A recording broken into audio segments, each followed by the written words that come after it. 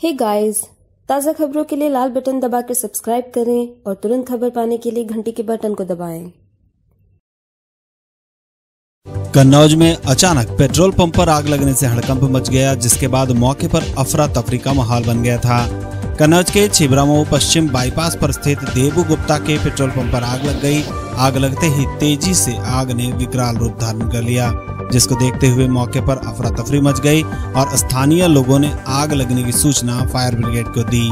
लेकिन करीब एक घंटा बीत जाने के बाद भी जब फायर ब्रिगेड मौके पर नहीं पहुँची तो स्थानीय लोगों ने आग बुझाने का प्रयास किया। लेकिन पेट्रोल होने के कारण आग बुझाने में लोग डर भी रहे थे और भय का सामना कर रहे थे, जिस वजह से आग बुझने की जगह बार बार बढ़ती जा रही थी।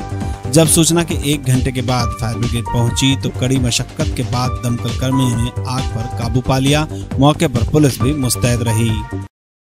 बाईपास पर गोविंद पेट्रोल पंप से बगल में गए थे कंपनी आग लग गई थी। अभी आग का कारण पता नहीं चला कैसे लगी है। लोग बता रहे हैं कि फायर ब्रिगेड सूचना के बहुत लेट आई एक घंटे बाद सब आई है।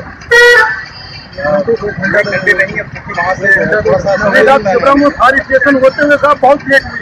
कन्नौज से इतने समय ना सकती थी चलिए ठीक है हम देखते हैं अगर इस तरह की हाँ, ये देखिए जो कॉल की आग के कारणों का पता नहीं चल पाया इसकी जाँच चल रही है।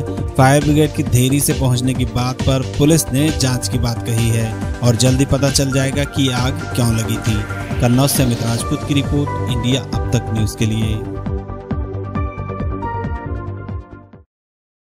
हे गाइस ताज़ा खबरों के लिए लाल बटन दबाकर सब्सक्राइब करें और तुरंत खबर पाने के लिए घंटी के बटन को दबाएँ।